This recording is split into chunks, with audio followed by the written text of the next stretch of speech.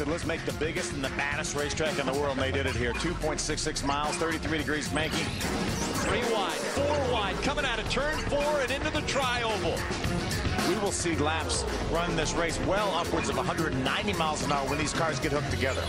They're moving back and forth. Jockeying for position as they go down the backstretch. That was incredible. As they spread out once again, four wide. This looks a little bit ominous right here. Problems, put their helmets on and back away from the TV because it's going to be that wild.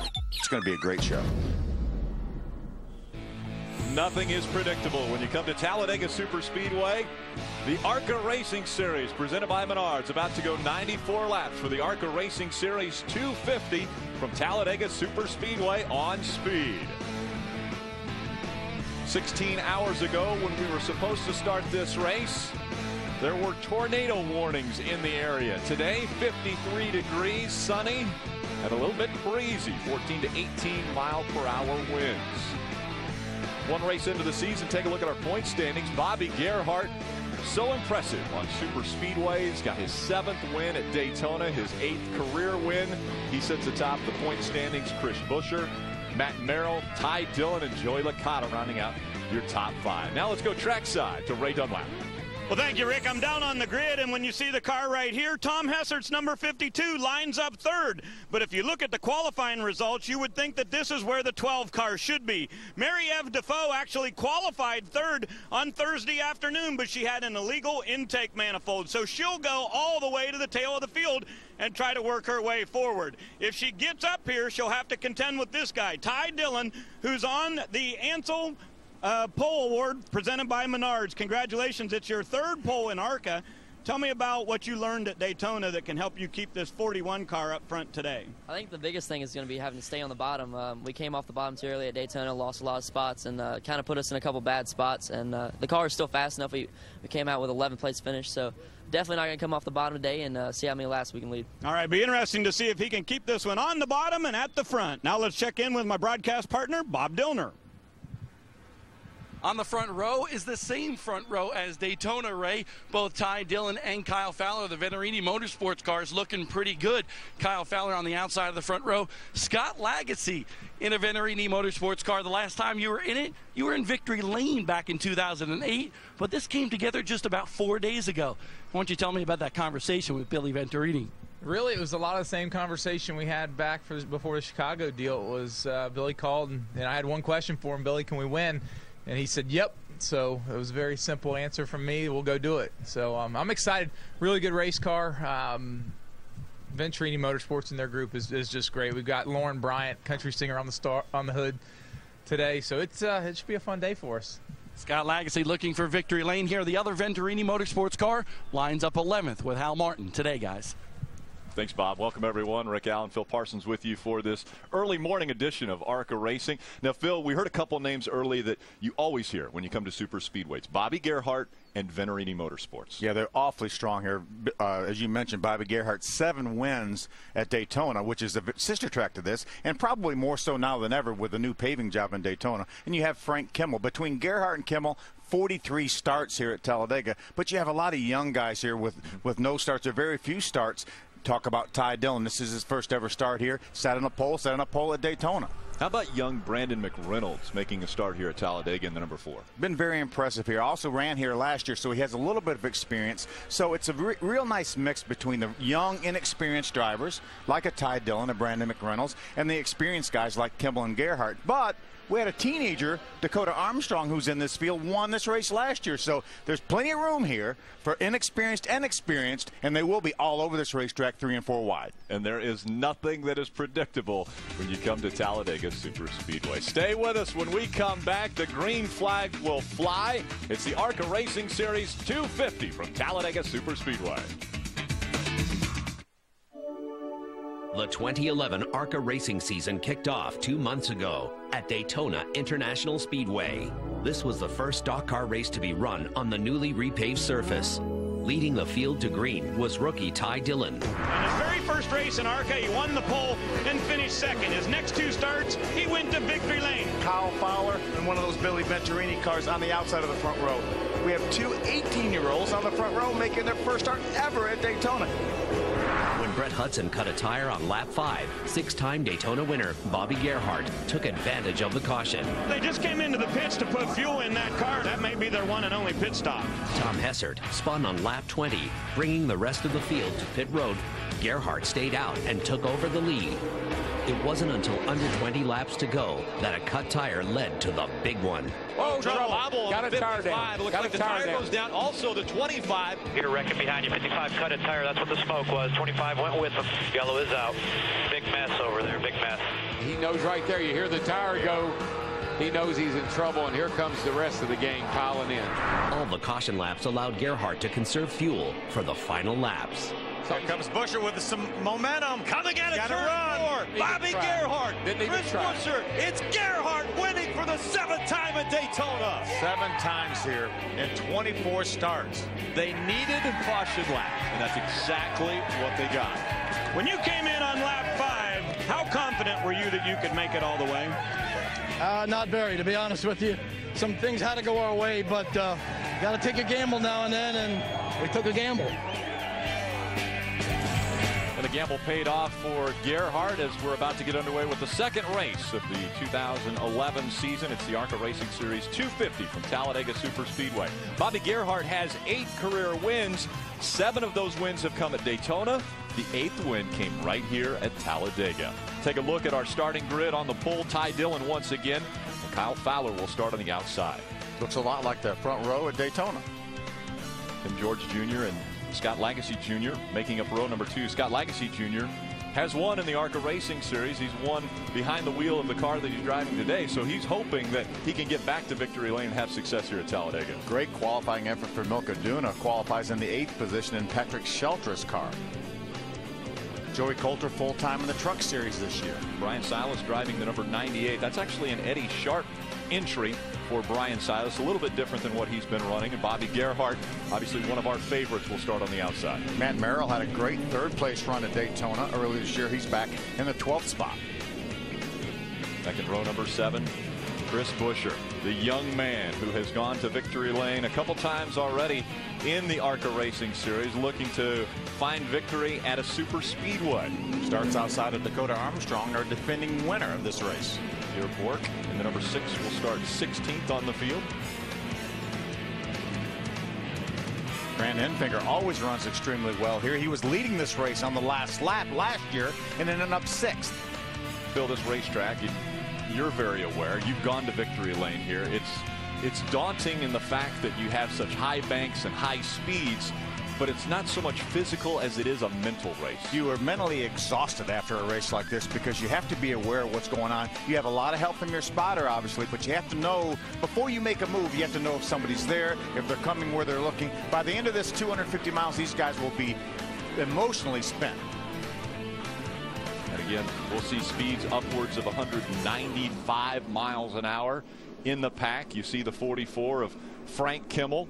Frank Kimmel has been to victory lane here at Talladega. Has never won at Daytona, though. Let's take a look at the numbers for Talladega Superspeedway. As you can see, 2.66 miles, and that extra 0.16 miles bigger than Daytona is a huge difference here. This racetrack is extremely wide. You see it's banked more than Daytona, 33 degrees. The, the tri-oval banked 16 degrees. That's more than a lot of racetracks, and man, is this thing fast. Our race analysis for today's race 94 laps, 250 miles.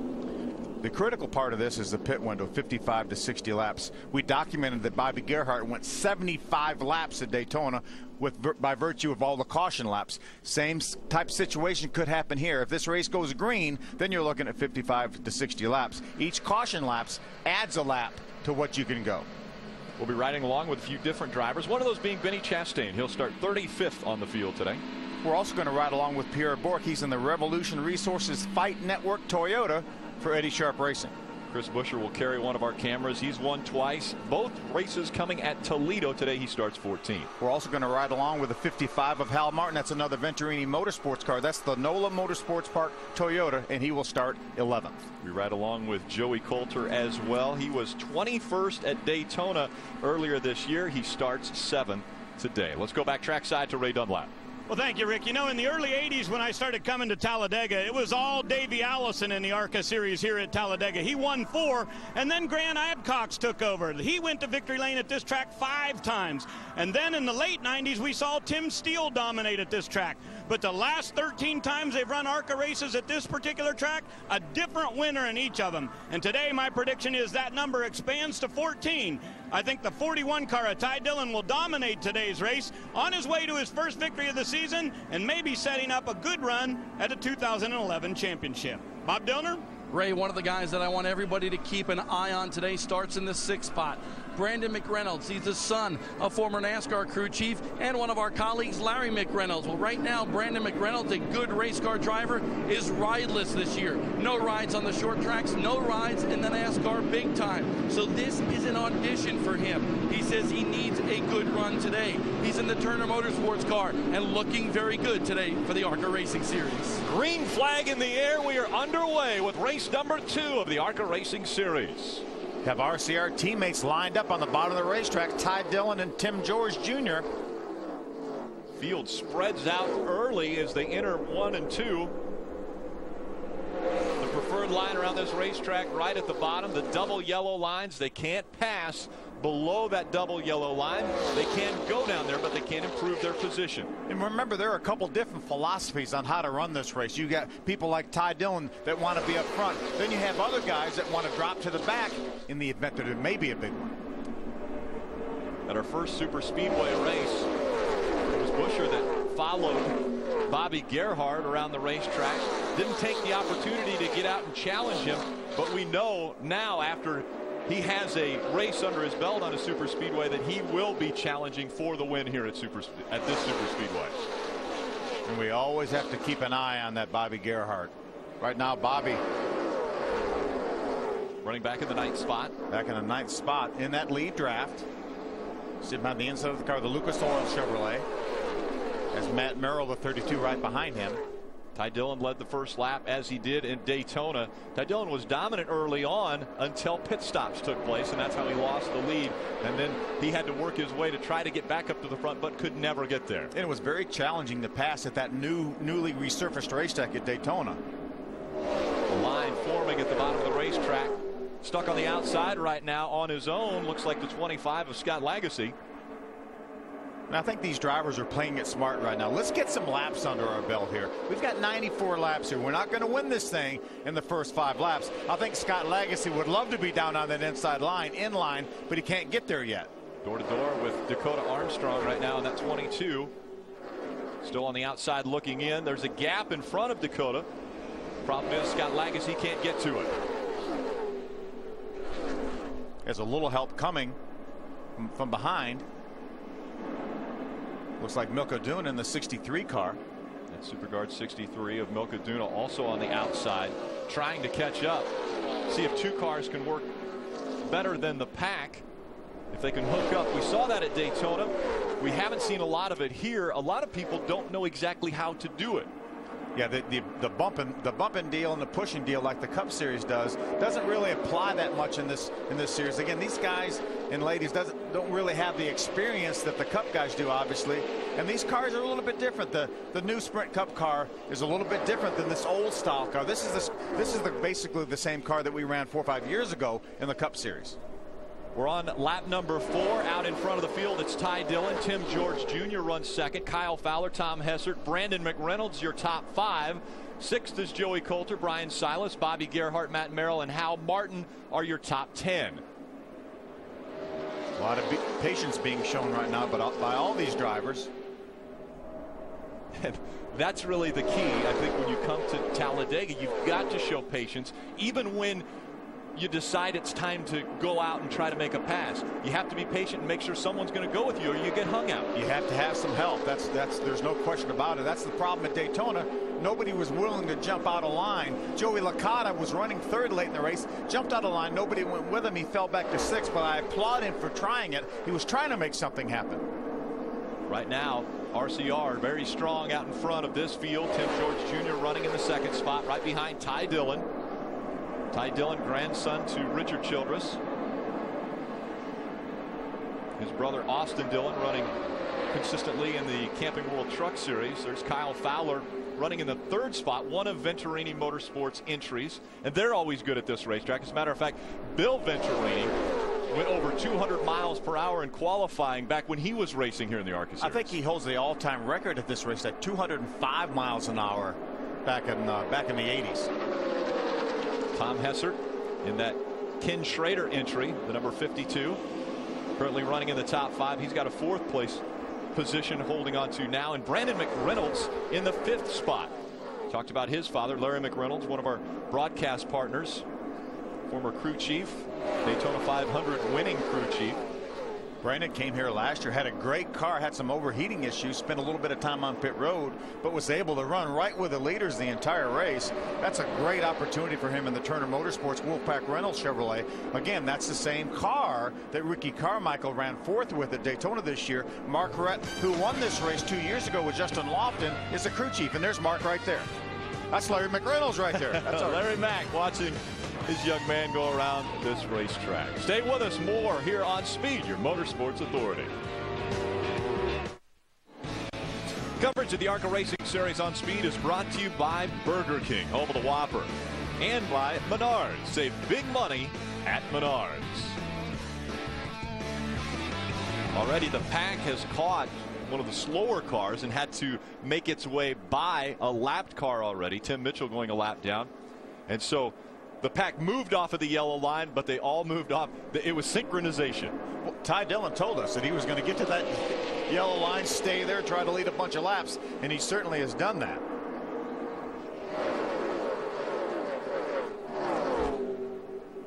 See the field lined up down at the bottom of the racetrack, right on that yellow line. Scott Lagasse finally able to get down to the bottom of the racetrack. Right now, Scott's running in the 14th spot. It's like drivers spreading out, trying to get a look in front of them, seeing what's happening. Bob, what's happening down on pit road? Well, I'll tell you what, you guys have been preaching patience, and right now that's what TJ Majors, the spotter for Scott Lagasse Jr., is preaching to him. His driver went from fourth all the way back to 14th.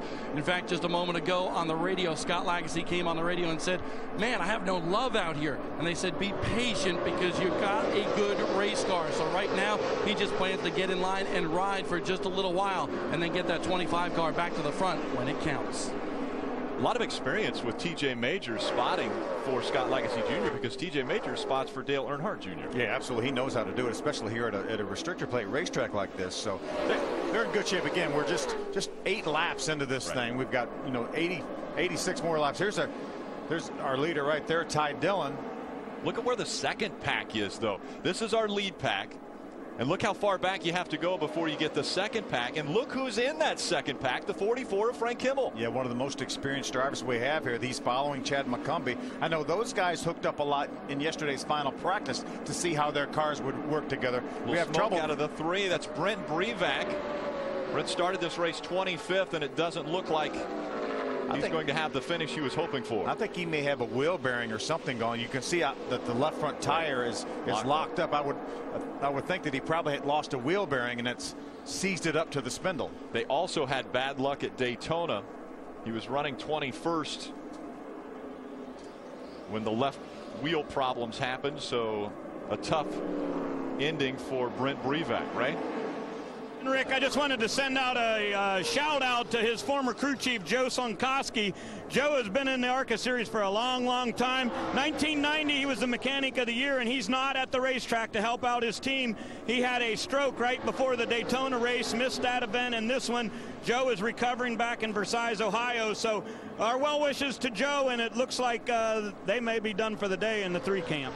Yeah, tough, tough start to the 2011 season for the Brevaks. And the Brevak name, as far as ARCA racing goes, uh, is synonymous. I mean, they're almost like the Venturinis. They've been around this series almost since its inception. They've been around a long, long time. Yeah, Brett's uh, father, Bob, a mm -hmm. former ARCA champion. There's, is that Joey Licata in the 77? Remember, we talked about having such a good run at Daytona. Finished sixth at Daytona, and now Joey Licata also slow. Down on the apron, looks like he's going to make his way onto pit road without a doubt unscheduled pit stop. Licata was running in the 26th spot and he continues to fall back. See the 11 moving up. That's Richard Harriman. Red car on the outside. moving out of the pack's way as they go by. Remember, we haven't talked a whole lot about the yellow line there, Ty Dillon sticking right to that yellow line. You cannot make a pass below that yellow line. Remember, that's out of bounds. You can go down below there. You just cannot improve your position. But that's why they want to stay right next to that yellow line and not allow anyone to get their nose underneath them. Still up front, Ty Dillon, Tim George Jr., Kyle Fowler, Tom Hessert, Brandon McReynolds. They're your top five. They haven't moved out of line. You see them moving just a bit out of line. They don't want to give up the position, but they also want to make sure they get air into that engine to make sure they don't get too hot. That's one of the things that the guys were working on yesterday during our final practice. It's essentially uh, an impound race, but they do have a final practice after qualifying. You're not allowed to change a whole lot of stuff, but you can work on your tape on your grill and to make sure you have that opening right. But when you get a big pack like this, you can get enough air into the Coolite engine. You see Chris Buescher now drops to the back of this pack. Chris is being shown in the 16th spot. Ty Dillon crosses the stripe. That completes the 12th lap. We're on lap number 13 of 94, and it's been all Ty Dillon since the drop of the green flag. His teammate, Tim George Jr., just behind him. Kyle Fowler in that Venturini Motorsports number 15 running in the third spot. Hessert and Brandon McReynolds are your top five. They continue to hold their position. Joey Coulter, Bryan Silas, Bobby Gerhart, Matt Merrill, and Hal Martin all lining up behind them in your top 10. Then young Dakota Armstrong, who won this race a year ago, just outside the top 10 in 11. Right behind him, Grant Enfinger, as we mentioned, was leading this race last year on the last lap. Got shuffled out, ended up finishing sixth. He finished third the year before. Now, Phil, we talked about how far back that second pack is running. Is that to stay out of the potential big one, or could that be a mistake? Well, no, I think it's to stay out of the big one, but they don't want to obviously go a lap down. Right. So right now they're running about a second slower than this lead pack. You can see now as these guys have to make their way around some lap cars. Watch them all fight to try to get back to the bottom of the racetrack. How about Tom Hessert's going to pull out a line, though? Tom Hessert looking to the outside. Looks like he has room to challenge on the outside, but doesn't make up any distance. A little bumping and banging, a little drafting going on behind him. See, now Tom they're Hessert spreading out around the racetrack. Had no help up there. Dakota Armstrong in the 22 is going to come along and maybe help him. No, Dakota he's going to go to the outside. Moves to the outside, and Hessert wants to take the spot. Those two run side by side, which definitely is not as quick as that line on the bottom. D Dakota Armstrong right now is way more important for him just to get behind Tom Hessert. Try not to lose any ground. He's going to try to get to the bottom of the racetrack as soon as that last car goes by. Tom Hessert was running in the top five and now has dropped back maybe holding on to a top 10 spot after making that move. Actually, all the way back to 12. Smoke coming out of the 15 of Kyle Fowler. Looks like he has problems now. Fowler moves to the inside of the racetrack. The smoke continuing to come out. Kyle was running in the third spot. It looks looks like it might be an engine situation for Kyle. Sure, the ARCA racing officials are looking at the racetrack to make sure he didn't put anything down. And listening to the radios. These drivers will let them know if there's fluid or they thought fluid was coming out of that 15. Tough break for Kyle Fowler, though. Such a great qualifying effort. Bob, what are you hearing about that team? Well, Kyle Fowler just reported on the radio. He said he didn't look at the gauges, but that engine is toast for that number 15 machine. Uh, tough break for the teenager. Second time this year on the front row, and he was looking to start and finish up front this time around. Just an 18 year old and a disappointing finish potentially for Kyle Fowler here at Talladega. Ty Dillon, the young man. Oh, we've got smoke coming out of Terry Jones's number 30. A huge plume of smoke. That's just as he crossed the start finish line and the caution comes out. So the first caution comes out. Strategy is really going to come into play right now because we've completed 15 laps. That means a guy like Bobby Gerhart may challenge this once again. Yeah, that means almost 80 laps. So again, this is a 50 mile longer race than what we had at Daytona. We know Bobby stopped on lap number five, but to go almost 80 laps here, I think that's going to be a stretch. But he may try it, and that way you're in position. If you get a lot of caution laps mm -hmm. in the next 40 or 50 laps, then you know you're fairly secure. But uh, I tell you, that's a long way to go. Terry Jones bringing the 30 to a stop now on the apron. A lot of smoke all around this racetrack now as the engine expired for Terry Jones. 16 laps into this one, and it's Ty Dillon, Tim George Jr., and Brandon McReynolds, your top three. Here come your lead pack onto pit road. Our first caution came out when Terry, Terry Jones's engine expired, and so Ty, Ty Dillon leads the field down pit road. Bob? Joey Coulter in that number 16 car. He runs fourth right now, hoping for a great run here today. He's got the Rip number 16 in his box right now. It'll be a fuel-only stop for Joey Coulter. Right? Down on my end, Bob, it was a tough decision exactly what to do. Uh, Ty Dillon's crew chief Flash said we got to come in and get some gas so that we don't get stuck in a, a green pit cycle. The 31, his teammate, is also down pit road. We saw the five of Gerhart had a little bit of a problem here. He's going to lose two or three spots on pit road as they leave the exit. It was Ty Dillon, then Brandon McReynolds that came across the start finish line one and two to finish up that lap. Several drivers stayed on the racetrack. Uh, the leader, I think, will be Grant Enfinger. Dakota Armstrong, Bryan Silas also stay on the racetrack. Right there is Grant Enfinger in the 36 car, the Justin Allgaier Motorsports car. Tomorrow Speed's ultimate pre-race show hits the high banks of Talladega. Brad Keselowski, Clint Bowyer, and points leader Carl Edler will join us live. Plus, we'll take a look at the importance of driver-spotter relationships on super speedways. NASCAR race day built by the Home Depot from Talladega. That's Sunday, 10 Eastern, live on Speed. Carl who? Edwards. I'm hoping I he's, I hope he's else. watching, by the way. well, you know he's watching. He's going to get a good laugh out of that. There's our Aaron's lucky dog, Benny Chastain. In the drive to end hunger Ford for Bob Schacht Motorsports. Benny carrying one of our onboard cameras.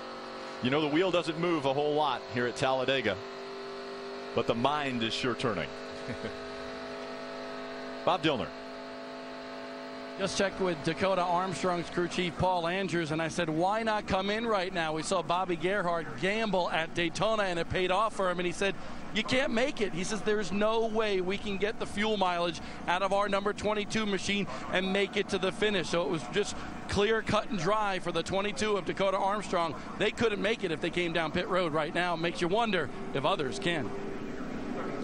Bob, I really doubt if they can make it from here. But you know, as as Flash Scott Nassett, crew chief for Ty Dillon, said, I hate to get get another long green flag run and get caught out and have to make a pit stop under green. So that's why the majority of the field came in just for a little little bit of fuel to top these things off. So now they can go at least 55 or 60 laps from here, even if we go green.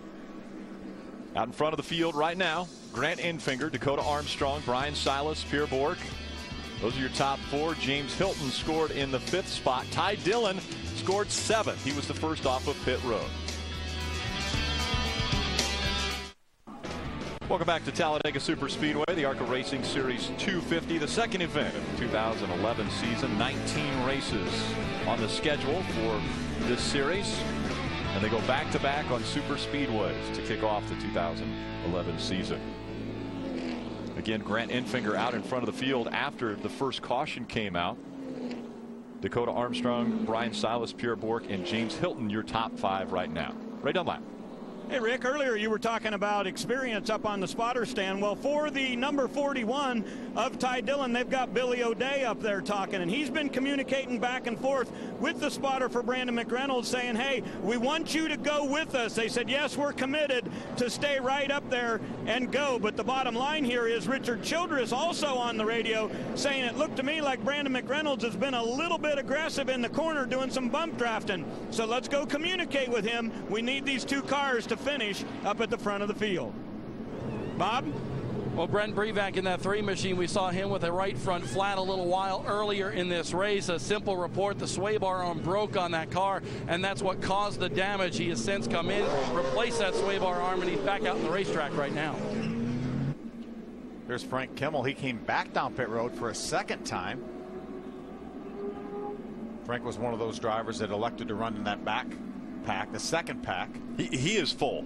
I'm telling you right now, he got it full of fuel because the overflow, the vent on the back is still fuel is still coming out of it. They got that thing as full as you could possibly get it. And remember, this is the older style fuel fueling systems, Right. not like the not like all of NASCAR's using now with that closed system, the the vented, vented system Right. where you don't have a, a catch can man. This is the old style here, so that's why you still have an overflow coming out the back of the car.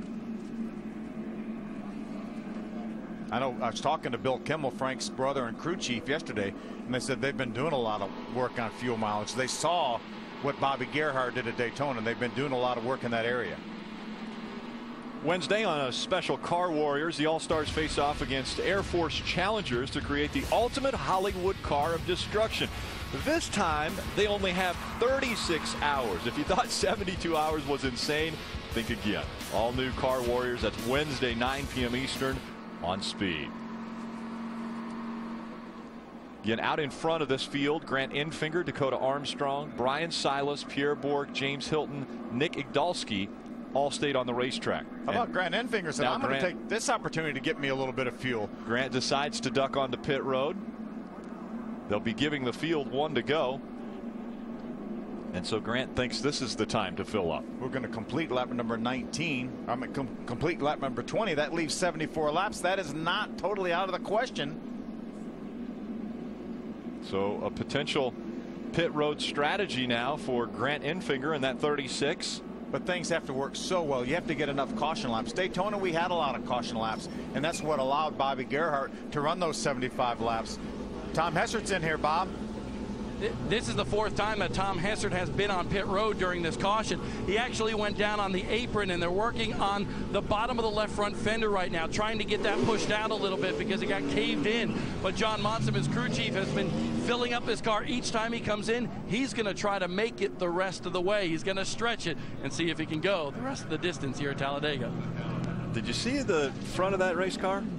It was a little bit dirty all around kind of the edges, but right in front you can tell there's been a little bit of bump drafting going on. Bob? A little bit of bump drafting, and also if you looked at the front end of that machine, all sorts of oil on the front nose and the windshield. They really had to clean that windshield hard because remember, Hessert was behind Kyle Fowler, and that's why he dropped back because he saw that 15 car leaking oil for a couple of laps on that racetrack.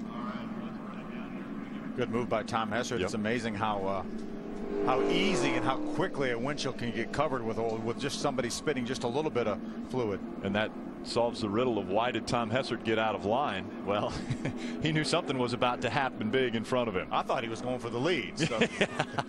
he just wanted to get out of the way and still be able to see. Dakota Armstrong won this race a year ago. And now, because Grant Enfinger ducked onto pit road, Dakota Armstrong is back in front of the field. Bryan Silas again driving the 98 today. Still has a relationship with Andy Hillenberg. Andy Hillenberg. As you, as you mentioned, this is a cooperative effort between Andy Hillenberg and Eddie Sharp for Bryan here. So a good opportunity. There's Pierre Bourque. That's a, another one of Eddie's cars. That's a team car to Bryan Silas. He's right there behind his teammate. How about mid 70s James Harvey Hylton running back there? He's currently in the fourth spot. He's a former winner here at this racetrack. At this racetrack in the Cup Series. Green flag flies. We're back to racing. About 40 years ago. he, he won here before most of the guys running this race were born. Exactly. See, Frank jumps to the inside to try to make some moves. On lap 22 of this 94 lap race. He'll get spread out pretty quickly here. Chris Buescher also made an extra pit stop, and he ended up restarting this race in the 25th position. Scott Lagasse Jr. back in 21st. Marie-Ève Dufault in 22nd. Again, Tom Hessert back there in 26th. We'll see if they're able to make the move back up toward the front. Again, fuel mileage could come into play depending upon the caution laps that are run. Pierre Bourque on the bottom of the racetrack needs some help just in front of him. The five of Bobby Gerhart, then the 32 of Matt Merrill duck in front of him. Now Joey Coulter goes by. I think the train's going by right now. There's Hal Martin in the 55. There comes Chad McCumbee. Remember, Chad was leading that second pack before that caution flag. Now he's back up with a lead lap. There's Milka Duno. There's the 51 car of, of Vaught.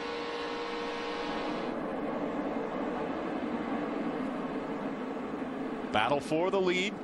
Out in front, Dakota Armstrong on the bottom of the racetrack. Ty Dillon trying to make the pass as they go through one and two. We saw how, how far behind Ty Dillon was. That front two cars took just one lap with that big pack to catch him. But that was through three and four. They're coming to the tri-oval now, side by side. The outside line has helped Dakota Armstrong strung out on the bottom of the racetrack. Ty Dillon takes the lead back. He's got Brandon McReynolds right behind him and Tim George Jr. running third. Bobby Gerhart running fourth right now. Joey Coulter, the 16 purple car on the outside. He has Hal Martin, the red 55 behind him. So Dakota Armstrong running the bottom of the racetrack got hung out and the train went by. See Joey Coulter jump to the inside leaves Hal Martin on the outside by himself. He has Sean Corr, the 82 car now going to pull up behind him. Bryan Silas in the 98 on the inside. Hal Martin in the 55 on the outside. Those two battling for position. There's Milka Duno, the 63 car on the inside. And there comes Frank Kimmel. Remember, we saw Frank make extra pit stops, and now he, here he is caught up with essentially with the lead pack. Now he jumps to the outside with momentum. Trying to make that outside line work. Frank Kimmel leading the pack on the outside. Bob Dillner just want to show you the tear off that came off of Tom Hessert's race car. This is why he dropped back. Phil, you talked about him dropping back. He had that oil from Kyle Fowler's car coming off of that car, hitting his windshield. Well, take a look at how cloudy this is. Now you can see me. Now Tom Hessert can see a lot better on the racetrack. Was a good look for you, Bob. Three wide here at Talladega. This is what we're used to seeing here. See Frank Kimmel, that bright yellow car on the outside, the 44. There's Brett Hudson, the 94, right behind Frank. Grant Enfinger in the 36, way outside that three wide. Remember, he waited till there was one to go to top off that fuel. He has Chris Buescher, the 17, behind him. Front of this pack running right along the bottom of the racetrack, right along the double yellow line, and then about seven cars, eight cars, ten cars back. You see them going side by side. A second line beginning to form up. We'll see if that line can make its way to the front. Now we see Enfinger ducking down into the lower line, leaving some of those cars hung out on the outside. Kimmel again in front of that second line. Frank not able to clear Milka Duno to try to get to the bottom. I think he would love to get to the bottom. A lot of these cars were in that second pack before that first caution. Frank Kimmel being one of those. Chad McCumbee, who's right in front of Milka Duno. Now Frank has room to get to the bottom. Is he going to come down there? We'll see if he wants to stay with that outside line or he ducks in behind the inside line. Scott Lagasse, the 25, pokes his nose in there and gets Milka Duno pushed up to the outside. Tom Hessert now behind the 25 of Scott Lagasse. Milka Duno finished 31st at Daytona earlier this year. It was announced earlier this week that they will definitely run the full schedule here with Sheltra Motorsports in that 63 car. Obviously, Milka has experience in the Indy cars, has run the Indy 500 a number of times. One thing she doesn't have experience in dirt dirt track racing and that's how diverse this racing series is they will race on dirt they go from super speedways all the way to dirt tracks Oh, oh James the wall Hylton. is James Harvey Hylton in at 48. Looks like he may have lost a right front tire. Caution still not out. As Hylton will make his way down. A lot of damage to apron. James's car. Caution is out now. And now the caution does come out for debris. So our second caution comes out. Now will Grant Enfinger stay on the racetrack hoping to push the limit of that fuel mileage. Well, this, this is when the guys have to make a decision. Do we want to come in, top off now, have that extra insurance that, that we think we can go the rest of the way, or do they feel like we're going to get enough caution laps in order to be able to make them uh, have enough fuel from that earlier pit stop? a lot of damage, yeah, to the right side of that race car. Going upwards of 190 miles an hour. Looks as though the right front tire went away for James. And he makes the hard left turn and heads behind the wall.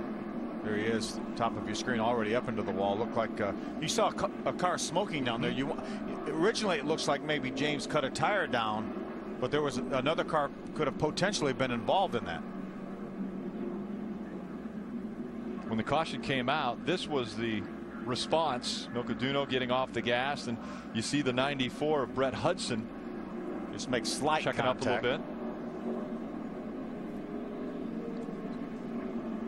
Tom Hessert in that 52 down to the bottom of the racetrack giving room. The pit road's not open yet, so we'll see if uh, who elects to pit when they come back around.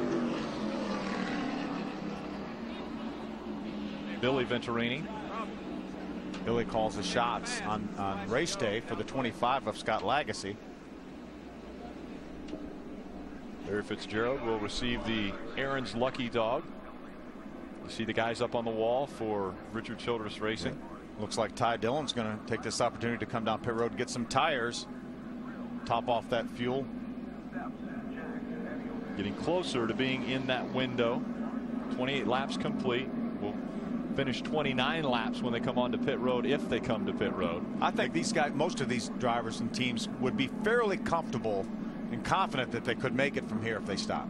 And Ty Dillon restarted this race just outside of the top five. Only five or six cars stayed on the racetrack the last time the caution came out and was able to right away work his way back up to the front and lead this race. So potentially this is another situation where he could get back up to the front fairly easily if he's got help. Oh, without a doubt. Here's our Aaron's lucky dog, Barry Fitzgerald. But, you know, I think the thing that sticks in the back of their mind is at Daytona, they had some damage from an incident came in said no problem to work your way to the front and weren't able really to pass anybody in Daytona with that new surface but again I don't think that's like that here we've got so much more room and the, and the corners the radius of the corners isn't quite as tight as it is in Daytona fresh asphalt at Daytona left a lot of questions out there for a lot of the drivers now I think they are feeling a little more comfortable with super speedway racing Dillon stays out. Ty Dillon stays out. Brandon McReynolds. Dakota Armstrong takes the opportunity to come down pit road as well as the 98 of Bryan Silas. Tom Hessert also making the left turn onto pit road. Bob? Billy Venturini said we need to come in. He's been crunching the numbers on his calculator after stopping in that last caution period. They couldn't go the rest of the distance. Now he believes they can make it the rest of the way. There's Dakota Armstrong. They stayed to get the very last ounce of fuel in that car. And oh, by the way, Bobby Gerhart stayed on the racetrack. we always have to keep an eye on Bobby Gerhart. He and brother Billy. They are masters. It's the super speedways and figuring out fuel mileage and just how it could work to get out to the front. Camouflage. You can hardly see the fans here at Talladega. Welcome back. Doing a little work on Tom Hessert's number 52. This happened on pit road. Let's take a look, Phil. Yeah, Tom was in his pit. He was getting ready to finish his pit work. We can see he's right up, right up here. And as he gets ready to pull out, the six of Pierre Bourque comes in. He's going to turn hard left, and you see right there, there's the contact right in the middle of that circle with Tom Hessert and Pierre Bourque. But now let's go to the onboard shot of Pierre Bourque. Watch this now. Watch him turn hard coming in. You see the little bump right there, but the problem is up here is his pit. He pulled in like four pits too early, and that's why Tom Hessert had no idea that Pierre Bourque was going to be turning in right in front of him, and you see all the damage on this Federated Auto Parts Camry. Bob. Bob. Tom Hessert pretty ticked off inside that 52 right now. They put about five tons of Barabond on the hood and the right front fender on that machine. John Monson, the crew chief, says his biggest concern is that hood and how it hinges on the fenders. And right now that hood is wiggling a little bit, so they're trying to make that secure because we all know aerodynamics very important here at Talladega. Tom Hessert not a happy camper inside that race car. You see the six of Pierre Bourque again anticipating getting into his pit stall gets in a little bit early and that causes problems for the 52 of Tom Hessert. Coverage of the ARCA Racing Series on Speed is brought to you by Ansell for over 100 years, the world leading and protector. A beautiful day today at Talladega Superspeedway. We're just over 16 hours when this race was supposed to start. Thunderstorms and tornado warnings went through the area, and we see damage to the front of that race car, Bob. Right now, Tom Hessert down on pit road again. He went out after all that tape went on the right front fender, and he felt like the fender was rubbing against that right front tire. So right now they're looking at that race car trying to figure things out, but uh, hopefully get that fender off that tire, guys. You see all the X-Flex tape they put on that car, but again, you see how the oil from mm -hmm. from Kyle Fowler's uh, blown engine, and so it's it's very difficult for that any anything to stick to right. that oil. So I'm sure they had to wipe that thing off, but it looks like it's already even peeling back a little bit in the very nose of that car. That incident occurred when Pierre Bourque was coming onto pit road. So that was where that damage happened to the front end of that race car. Ty Dillon out in front of this field. Stayed on the racetrack under this most recent caution. Brandon McReynolds also stayed on the track right behind him. There's Brandon right there in the Wolfpack Reynolds Chevrolet for Turner Motorsports. Tim George Jr. The Applebee's Chevrolet for Richard Childress Racing right now running third. 27th was his finish at Daytona earlier this year, hoping to improve on that.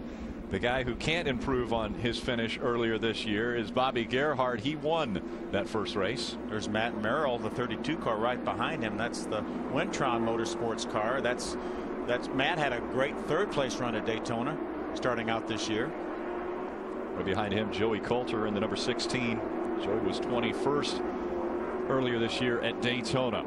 Milka Duno right behind Joey Coulter in seventh. Hal Martin, Chris Buescher, and Marie-Ève Dufault round out our top 10. Green flag back in the air. Ty Dillon wastes no time jumping right to the bottom of the racetrack. Everyone's fighting for the bottom of the racetrack. See that fluorescent yellow of Frank Kimmel back in the pack a ways. Three wide just in front of him. Kimmel has won at this racetrack. Bobby Gerhart has won at this racetrack. And Dakota Armstrong are the three that are entered in this race that have been to victory lane before. The other 36 all searching for a win here at this track. Sean Corr, the 82 on the outside. Frank Kimmel, the 44 right behind him. Brian Rose, the 19, stuck in the middle. Saw Chad Hackenbracht on the 58 back there as well. Here's Pierre Bourque. Remember, he had the damage from that collision with Tom Hessert on pit road. I love listening to the engine when you're at a racetrack like Talladega. Very rarely will even change almost 100 RPM. They keep it wide open all the way around. All the way around. Sometimes if you're in a good draft, you have to back off a little bit to keep, you know, when you get a little bit of a pull. But uh, and sometimes you'll just touch the brake instead of backing off the throttle. The other thing that I'm noticing early in this race is we've completed 34 laps. We haven't seen really any bump drafting up to this point. Yeah, I just not a lot of bumpers matching up right now. Yeah, they really don't match up, and, and these cars again aren't uh, is is prone to the to that working as well as it does in the in the Cup Series and as the Nationwide Series also. Saw Milka Duno take a look to the outside. Let's see if she's going to make a move. And will anyone go with her? Just in front, Hal Martin in that 55. Looks like she wanted to try to have someone help, like Chris Buescher in the 17, but Buescher stayed on the bottom of the track. It really has to be prearranged. You have to know and talk to somebody. Your spotter has to talk to another spotter or somebody from your pit has to run down to the other pit because more than likely they're not just going to jump out and go with you. They're going to actually close that hole up. Now, now Milka Duno was, is going to lose some positions here. There is a little bit of a gap right behind the 22 of Dakota Armstrong. She should be able to get in there if she'll turn left now. She stays in the outside, though. Those cars on the bottom will probably close that hole up. And the hole is getting closed up right now. Even as we speak. It's gone. She may she may find herself at the end of this lead draft by the time she's able to get back in line. A hole just in front of Dakota Armstrong, but that will also close up. But that's also part of learning this kind of racing too. If you if you don't pull out a line, you don't know what's going to happen when you pull out a line. And we still have a lot of this race to go. We still have 57 laps left in this race, so she has plenty of time to make her way back to the front. But she is going to end up at the back of this lead lap uh, lead lap pack. Saw one of the windshield tear-offs flying around the racetrack. That's one thing you don't want to pick up on the front of your race car. It gets in front of the intake for air into the radiator, you will overheat. So Milka Duno on the outside still trying to find a way to get in. Chad McCumbee in the one, Grant Enfinger in the 36. Now Grant Enfinger driving that 36, that's the Allgaier car, and Justin Allgaier has won at this racetrack before. I saw Justin down in the garage area, kind of overlooking uh, what was going on with this 36 car during practice. Ray Dunlap, what's happening with Ty Dillon out front? Well, you know, you guys were talking about learning here at this racetrack, and I think Ty is learning a good bit. I told you Billy O'Day, who is Kevin Harvick, Harvick's spotter, is up on top of the roof. He's also getting some information from his grandfather, Richard Childress, and his father, Mike Dillon, is on the backstretch. So lots of uh, different people giving him info. But on that last restart, Ty got just a little bit too big of a lead, and his grandfather, RC, came on and said, drag the brake through the corner a little bit and let that group catch back up to you. If you get too big of a lead, they're going to figure it out, and in the future, they'll line up and go by you. And there's a lot of experience coming from his grandfather. oh yeah, he's he, been he around knows, a long time. Yeah, he knows what it takes to get to victory lane with drivers like Kevin Harvick, Clint Dale, Bowyer. Dale Sr. won 157 times here. Dale Sr. obviously great success.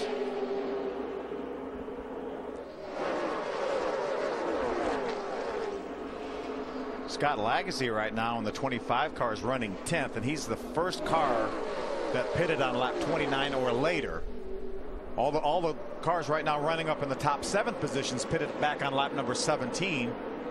Then Chris Buescher's running eighth. He pitted on lap number 20. Marie-Ève Dufault, who started all the way back at the back because of the of the penalty qualifying, basically was uh, disqualified, is now up into the top 10 in the ninth position. There's Marie-Ève right there in the 12 car. Currently running ninth. Talked to her a little bit in the garage area. She said they are for sure going to run the entire schedule this year, so that's great news for the series. Scott Lagasse trying to trying to get to the inside of Marie-Ève without going below that yellow line, which is pretty pretty difficult task. Very difficult to do. Right now, as the field is hugging that yellow line, double yellow line. Dakota Armstrong, though, stuck on the outside now. We saw a little bit of a gap in front of that car earlier, and now he goes into the second line. A couple cars looking to tack on behind Dakota Armstrong, but it's the inside line that keeps chugging along. Ty Dillon, Brandon McReynolds out in front of the field here at Talladega.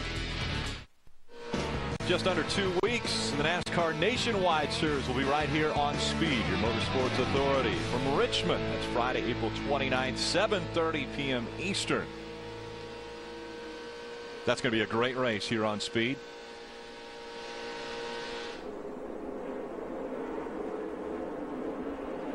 Out in front of this field, Ty Dillon, Brandon McReynolds, Tim George Jr., Bobby Gerhart, and Matt Merrill are your top five. Frank Kimmel trying to get that second line to move. We haven't seen it get too close to the front yet. See Chad McCumbee, the one car right behind Frank. I believe that's Sean Corr behind Chad in the 82 car.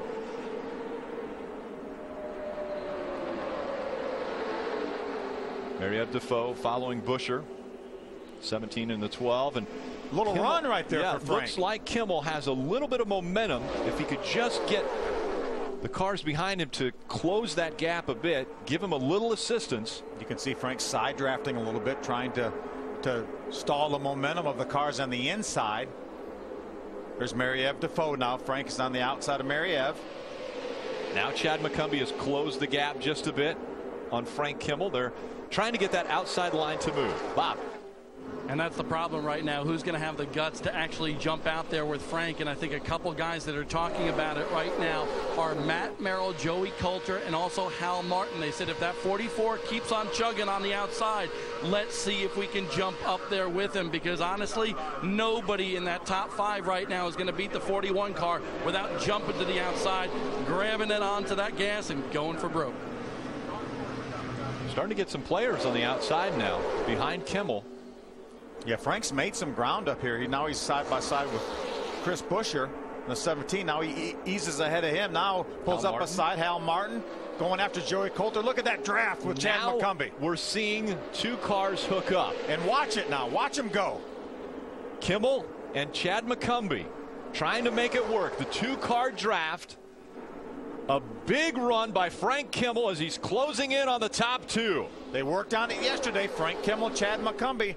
Those were two of the only drivers to work on that pushing situation. Now the problem is they hadn't worked on it long enough. Frank Kimmel needs to realize that sometimes he needs to ride the brakes so that they stay together. Two cars will run faster if they're locked together than if they spread out like they just did. And here, Frank Kimmel's going to get hung out. McCumbee goes high. He has help behind him, and McCumbee's going to try to go to the front. He had a push from Matt Merrill, and just it just shot him by Frank Kimmel. But look at the gap now from Chad McCumbee back to Matt Merrill. So that's going to stall Chad McCumbee out again. They were side by side for second. Brandon McReynolds holding on to the bottom line. Oh, oh problems getting turned. Hal Martin goes to the inside. He'll slide back up the racetrack. Luckily, no cars down there as he came through, and the caution will come out. That was going into turn number one. That's what happens when you start bump drafting. And you start fighting for the inside of the racetrack. You see the steering wheel vibrate. I think Hal Martin has a, at least one flat tire more than likely. Did a nice job keeping that car out of the outside wall, though. Third caution comes out. We know now we have 50 laps to go in this race. Everybody could certainly make it to the end from here. See if you can watch it now. Watch Watch the yellow car. He's back behind the purple car. He runs into the back of the 16 of Joey Coulter. And when the 16 comes back to get back in line, he actually made contact again with Hal Martin and turned him sideways. And around goes Hal Martin. There's another look. Watch the Buescher 55. Watch the 55 now. Buescher's overheating a bit. You can see the steam yeah. coming out of the 17. They were all tight, just just trying to run run against each other. And that's all it took was just a little bit of a nudge from behind and around Hal Martin goes.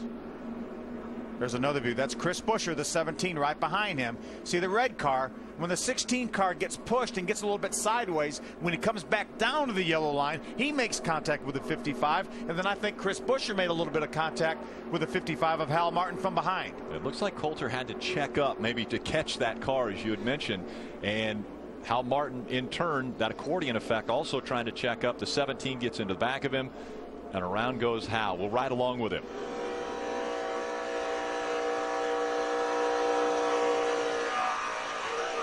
You, you, could you could hear the contact from behind with Chris Buescher. We saw the contact with Joey Coulter from the front out our onboard camera, and you could hear the contact from behind by Chris Buescher. Mm. What a wild ride. 17's on pit road. 55's also down there, Bob. Yeah, and John Quinn, the crew chief for Venturini Motorsports on this 55, just told Hollywood Armstrong right there, the tire changer on the right front, pull that right front fender out, but don't give it a big yank. We just want to make sure it's clear of the tire. So a little doctoring of the right front fender for Hal Martin. That right front tire was down. It'll be a four tire stop for Hal, but they're making sure that they don't do any more damage than has already been done to this 55 machine, Ray.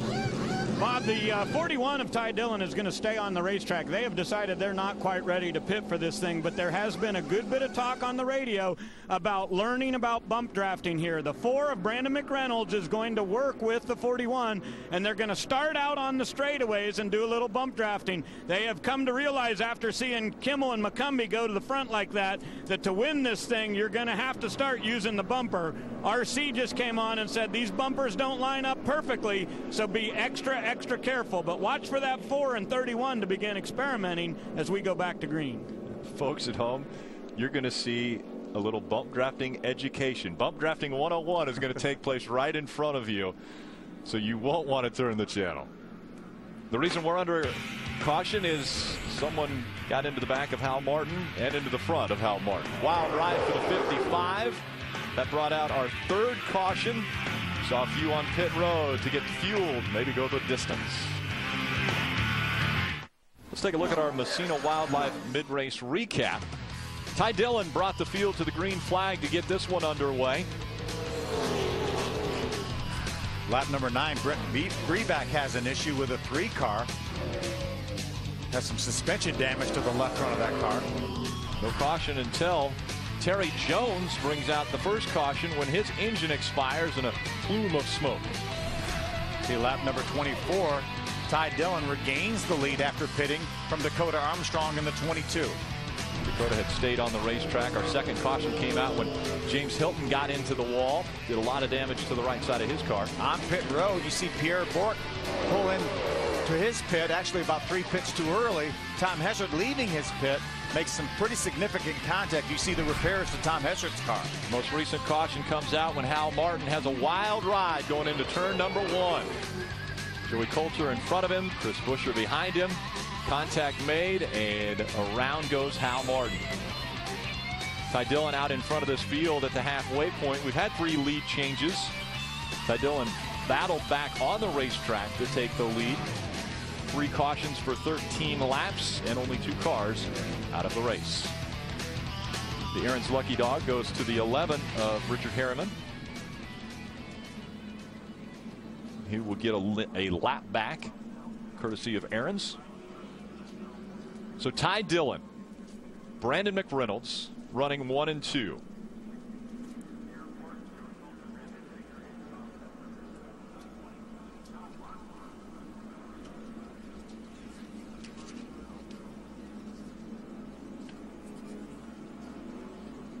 Big day tomorrow here on Speed. NASCAR race day. We'll get it underway. Then we'll move over to Fox for the Sprint Cup Series race from the high banks here at Talladega. NASCAR Victory Lane will wrap it all up at 7 o'clock Eastern right here on Speed, your motorsports authority. Right now, four of our top five, Ty Dillon, Brandon McReynolds, Tim George, and Bobby Gerhart, all pitted lap back on lap number 17.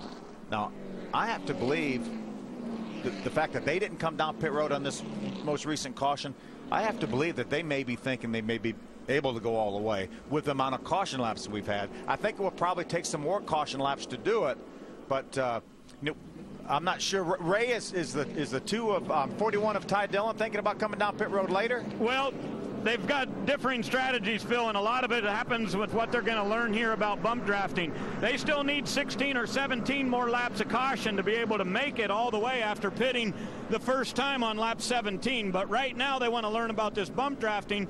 But Mike Dillon just came on the radio and said, I think we may have to abandon our original strategy. Come still get tires because I believe our car and the four together are good enough to run back up through the pack. Bob?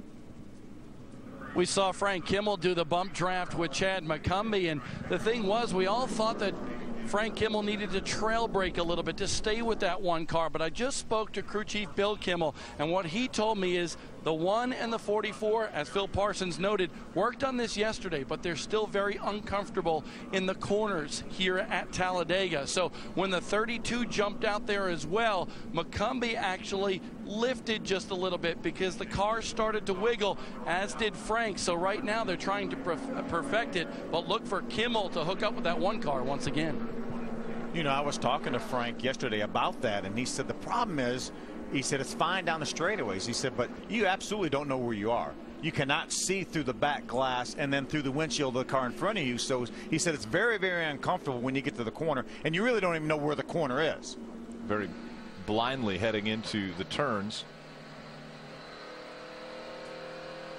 Benny Chastain right there, the 75 car. There's Hal Martin. Obviously, his steering wheel not uh, not vibrating, so no more flat tires for him. What a wild ride, though, in turn number one. Chris Buescher in the 17, currently running in the 12th spot. Joey Coulter, the Rip It energy, energy drink, right now running in the 18th spot after making a pit stop. Pierre Bourque running 17th. So Ty Dillon once again is bringing the field to the green flag. Things are changing now. Green flag flies. We'll see if we have the two car draft take off now that Frank Kimmel and Chad McCumbee have shown it works. And don't think that every one of these spotters and every one of these crew chiefs is aware of what went on there. They saw that. We only had it for a lap or two, but everyone's aware of it and talking about it. Three cars break away from the pack on the restart, and they're three wide behind them. So the three cars, Ty Dillon, Brandon McReynolds, and Tim George Jr. trying to work together. And then the pack behind them. Got Chad McCumbee, the one car leading that pack. Bobby Gerhart the five. There's Frank Kimmel. Between Bobby Gerhart, Frank Kimmel, remember 43 previous starts here at Talladega. 25 for Gerhart, 18 for Frank Kimmel. Scott Lagasse now right behind Frank Kimmel. Sorting it out now, Dakota Armstrong in that 22. Just in front of Bryan Silas in the 98, dropping back a spot. Sean Corr in the 82. Matt Merrill jumps to his outside. Matt's in the 32 car for Win-Tron Racing. He's going to dive in behind now, Sean Corey. He realized that he wasn't he wasn't going anywhere on the outside. Single car against single car. We're still seeing eight to 10 feet separating these cars. Not bumper to bumper. Well, I don't think we're done seeing the bumper to bumper thing. when will it happen and who will decide to try to move out of line to take that top spot? You see, right now, been dominant. Right now, Scott Lagasse, the 25 car, right, very, very close to the 44 Frank Kimmel. The problem is he can't push him right there because all he'll do is push him into Bobby Gerhart. They have to have some clean racetrack to make that work because you get so much momentum. There again, Scott Lagasse Jr. trying to get on the back bumper that 44. Here comes Frank Kimmel. Let's see if this two car draft works. And I think it's going to work. I don't think Frank had any choice. If Scott Lagasse was going to push him, he, he was going to run into Bobby Gerhart. Now they make the move through one and two, that outside line, making the run, trying to get by Dillon. We'll see if McReynolds closes up on the back bumper of Ty Dillon, and that two car draft will work. Scott Lagasse trying to get to Frank Kimmel's back bumper, and when he gets there, then they're going to have some momentum. Ray Dunlap. Hey guys, you were talking about the 32 of Matt Merrill. They pitted on lap 46 here, put right side tires on, and they are good to go. And they believe this lead pack is going to pit yet in this race. So they're looking for a little strategy, and I wouldn't believe it, wouldn't doubt it, I say, if the 32 and the 12 get hooked together. There goes Kimmel. Does he have the lead at the start finish line? He did. He took the lead away from Ty Dillon, but can he complete the pass? That's the question now. He can if he wants it. He can pull down in front of Ty Dillon, and he does for a moment. That's going to hang out Scott Lagasse, who got him to the front. So Kimmel moves back up in front of Lagasse to try to bring him along. And that is so key. If you have somebody that works with you, don't hang him out. Yes, Frank could have jumped in front of Ty Dillon and had the lead, but hey, I'm not going to I'm not going to abandon the guy that got me here. How about enough, Brett Hudson right now running third? Brett Hudson follows along, and it's Kimmel out in front now of Scott Lagasse and Brett Hudson. See, now I think that the RCR guys and, and uh, Scott Nassett, the crew chief, they have to re-examine the fact that they stayed on the racetrack now. Obviously, they know that this bump drafting is going to work, and, and so they, I think they really should have taken that opportunity to get down pit road and get that fuel so they know they had enough fuel to get to the end. That would be the guarantee to make it to the end. Now there's still a question mark with those teams. Bob. You know, guys, here's something to consider. While a lot of these guys in the ARCA series do not know how to do this two-car draft and are learning by the minute and second out there, remember, their spotters know a lot more. And Frank Kimmel's spotter for this race is Tony Hirschman Jr. He's the spotter for AJ Allmendinger, and you should hear him on the radio right now. Rick, he's trying to steal your job. He's like a play-by-play announcer, telling Kimmel exactly what's going on behind him and how Lagasse is trying to hook up with him. So remember that. These guys in the ARCA series learning how to do this two-car dance. Well, the spotters already know how, and they're helping these drivers. Well, as far as my job, to coin a phrase, look what's on the track, get in line. There's a lot of them lined up right now. Out in front, it's Frank Kimmel in that 44. Scott Lagasse. Now, Bob mentioned a lot of experience as far as spotting. Scott Lagasse has TJ Majors, who is spotting for him, who spots for Dale Jr. on Sundays. Brett Hudson gets shoved out of the way. He wasn't quite right next to the yellow line there. He left about half a half a car width. And they those guys seize that opportunity. Ty Dillon gets by him. It's going to bring Brandon McReynolds with him. And now he's he's stuck in the middle. Clowns to the left of me, jokers to the right. Here I am, stuck, in, in, the, the middle, middle of you. oh my goodness, here we go. Things are heating up as we pass the halfway point. Just 40 laps to go. Now 39 as the pack goes by the start finish line and into turn number one. Frank Kimmel and Scott Lagasse did the two car draft to get out in front of Ty Dillon. Dillon now back up to the third spot. Brett Hudson is now 14th after running third on that last lap. So Kimmel, can he get to victory lane once again here at Talladega? Stay with us. NASCAR Race Hub Monday through Thursday. Make sure to tune in. Steve Burns gives you all the insight as to what's taking place in the NASCAR world. On Tuesday, a big announcement. The 25 nominees for the NASCAR Hall of Fame will be announced on NASCAR Race Hub. Mike Joy and myself will walk you through that. Kyle Petty will be at the Hall of Fame to talk about those nominees. You want to make sure to tune in to NASCAR Race Hub. See, the leaders having to make their way around a slow car, lap car on the inside of the racetrack. They're able to do that. I'm telling you, every lap that we run under green is making people like Billy Gerhart and Scott Nassett all worrying now about whether they're going to have enough fuel and when they're going to have to stop. See Ty Dillon looking to the outside of that 25 of Scott Lagasse Jr. And already we've got guys talking from pit box to pit box. Yeah, that's Ty Dillon's team and, and Brandon McReynolds' team already talking now about what to do. Ty makes his way to the outside of Lagasse for just a moment, then pulls back to the inside. Tim George Jr. in the fifth spot in that number 31. Then Sean Corr in the 82 just behind him. Again, this pack working the bottom of the racetrack. Oh, oh, we had a right front tire. Looks like it went out. That's Bryan the 98 Silas. of Bryan Silas. A hard right turn for Bryan Silas coming through turns three and four. He goes down onto the apron. Still no caution. Silas on pit road and down pit road goes Bobby Gerhart in the five trying to avoid that 98. So Bobby Gerhart was slowing to avoid, had to go down pit road and was doing it at about 180 miles an hour. Bryan Silas was coming off the wall trying to make his way to pit road and Bobby Gerhart at the last second dove to the inside of him to avoid hitting him.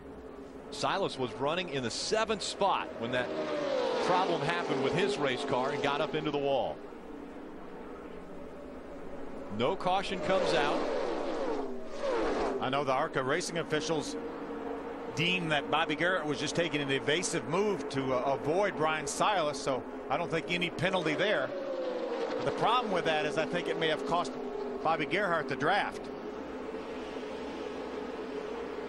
It definitely did cost Bobby Gerhart the draft. He's now he's being shown about six or seven seconds behind.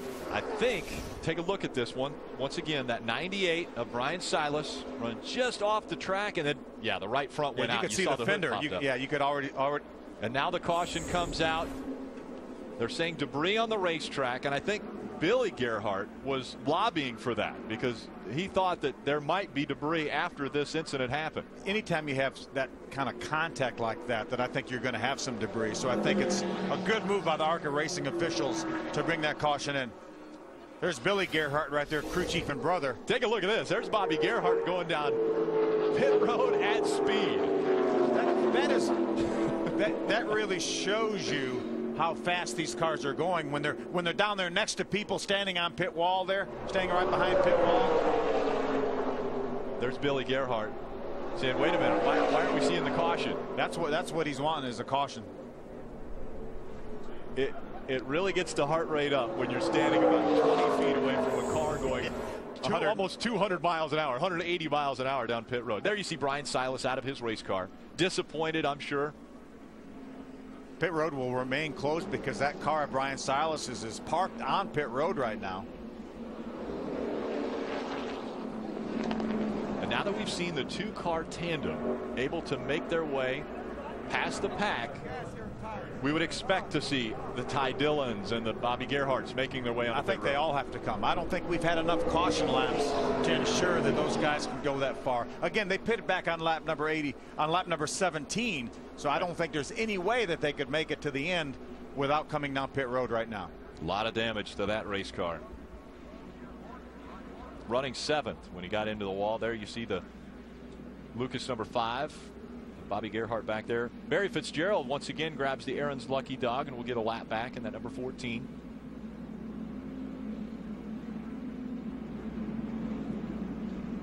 You know, we've got a couple guys down there on pit road, And Ray, you were standing there. What did that look like when Bobby Gerhart flew by you? Oh, my Rick, I'm trying to get my breath back. I saw that caution when the car went up into the wall. I thought for sure there'd be a caution, so I ran up to get on the wall. And just as I started to turn to the right to look, Gerhart went by me in a flash, knocked me out off the wall. It was uh, it was interesting. I didn't know he was coming, but it was sure a wake-up call. That's amazing right there. And we've seen that before. We've seen that before at, at, these super speedways. I remember Carl Edwards in a Camping World Truck Series race had to avoid an incident. He went down uh, pit road and ended up winning that race, I believe, at Daytona. Sure, sure so maybe that's a good thing for Bobby Gerhart. And you remember not oh so long ago, we had no pit road speed. Right. I mean, that's how guys would come off the racetrack off turn four. If they were pitted down towards turn one, that's about the speed they would come off the racetrack making a green flag pit stop. So dangerous, and thank goodness that they have put the pit road speed into place to try to avoid any incidents. So Kimmel out in front, Lagasse, Scott Lagasse running in the second spot. Ty Dillon is third, McReynolds and Tim George Jr. They're your top five here at Talladega Super Speedway. The ARCA Racing Series 250 on speed.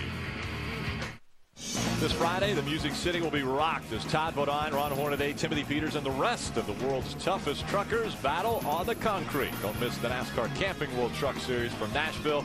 That's next Friday, 7.30 Eastern, live on Speed, Motorsports Authority.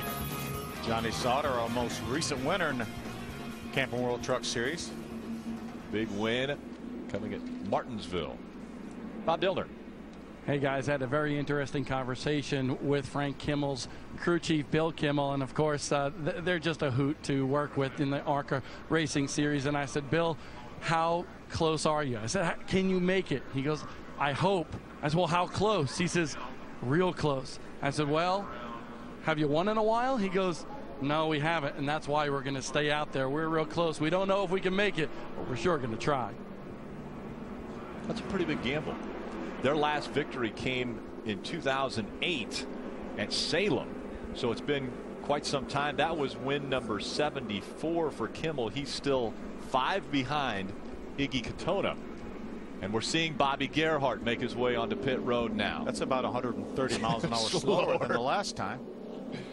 You know, Frank Kimmel's worried about having enough fuel. He pitted on lap number 32. Ty Dillon, Brandon McReynolds, Tim George stayed on the racetrack. They pitted on lap number 17. Chad McCumbee also on pit road now. Looking at the front end of that race car. They've got it full of fuel. And away he will go. Bobby Gerhart now in his stall, right? Right side tires go on this Lucas Oil Chevrolet. They're going to go ahead and do four. They made a big wedge adjustment also. Four tires and fuel here. Gerhart not going to have his same drafting partners when he goes back to the racetrack, but he said they knew they weren't going to be able to make it. He felt like tires and fuel may be the advantage. Pierre Bourque also coming off of pit road, that number six. 31 laps of racing to go here at Talladega Super Speedway of the 94. Again, this race scheduled to run yesterday afternoon, but because of the thunderstorms and tornado warnings, we have moved it to a Saturday morning race. Again, 30 laps to go here at Talladega. Welcome back, ARCA Racing Series 250. It's the second race of the 2011 season. Out in front, Frank Kimmel looking for win number 75 for his career, closing in on Iggy Katona. Did, did, a little math during that commercial break. These guys pitted on lap number 17 with enough caution laps. I think they may be in their window to make it. Ray, what do you think? I don't know, Phil. There's a lot of varying strategy down here. I mean, you remember Gerhart pitted earlier at Daytona, and uh, today he comes in on lap 63. So very interesting for sure. Back up at the front of the field, you'll see the 41 who is running in third. At Daytona, he was running third on the racetrack, and a car in front of him was blowing oil, so he backed off and went to the back of the field. Ty Dillon just came on the radio and said, guys, you're not going to believe it, but the 25 car in front must be throwing oil again. My windshield is completely covered, so he's very concerned. They're going to try to get by that 25 as fast as they can. They think there might be some oil coming out of that thing. Bob?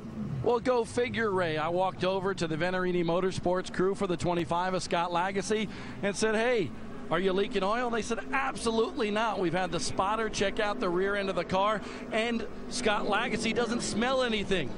But then again, I asked Big Bill Venturini, the car owner for this team, and he said, You know what? If it was pouring out, I would tell you it's not. You know, usually it's a telltale sign on the back bumper. If, if, Right. if something's leaking any fluid, just like we saw Tom, the front of Tom Hessert's car, that's the back bumper would look like that. And it looks like the 25 bumper is pretty clean on the back of that car. There's Bill Venturini. ARCA Series champion. There's that Take back a bumper. closer look at it. There's a little oil back there. A little bit of stuff, but you see on the left, that's the overflow from the gas. Mm-hmm.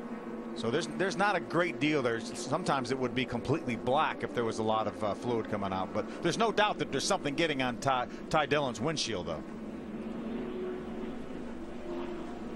So as we come to the start finish line, we'll have 29 laps of racing remaining. Kimmel out in front of Scott Lagasse Jr. The question mark on that 25, if it is having some fluid coming out of it. Ty Dillon runs behind him in third. Brandon McReynolds, Tim George Jr. your top five. Sean Corr, Grant Enfinger, Tom Hessert, Hal Martin, Chris Buescher are your top 10. Rob Jones in the 28, Benny Chastain, Wayne Peterson, Brent Brevak all scored laps down to this field. I think Brent Brevak back on the racetrack in the three as they're coming to the green flag. I think those three drivers that pitted on lap number 17 have gambled that they were going to get enough caution laps. We've had 18 since lap 17 when they pitted. That may be enough. Green flag comes back out the field across the stripe, again led by Frank Kimmel. Brent Brevak 11 laps down to the field on the inside. And they spread out behind as they go into turn number one. See Chad McCumbee right up against the outside wall. You see Ty Dillon. He tries to get to the outside of the 25. He's bringing Brandon McReynolds with him. Ty Dillon trying to make the pass now on Frank Kimmel. Brandon McReynolds trying to go with him. What a restart for Ty Dillon as he clears that 44. But will he hang out Brandon McReynolds? He's going to stay right up on the outside so Brandon McReynolds can draft off him. Now Lagasse needs to get against Frank Kimmel's rear bumper if he can. Tim George Jr. also following that line. There goes Ty Dillon. Drops to the inside. Now Brandon McReynolds and Tim George Jr. hung out to dry on the outside. Ty's going to pull up a little bit to help Brandon McReynolds. What a great job these young drivers have done this race. Dillon back to the bottom of the racetrack, and now McReynolds just hanging on. Here goes Kimmel looking to the outside of that 41. Let's see if they start to do the two-car draft. Kimmel thought about it. He had a little bit of a run, had some momentum, thought about going to the outside, then thought better of it. See Chad McCumbee, Brett Hudson hooked up on the outside, very outside of the racetrack. And the 4 and the 31 continue to drop back. Dakota Armstrong now tacking to the back of that outside line. Here comes the 32 of Matt Merrill as well. Milka Duna. Duno in the 63. There's Larry McReynolds watching as his son tries to make that outside line work. You know, Larry McReynolds won here with Davey Allison back in 1992 when Brandon was just 11 months old.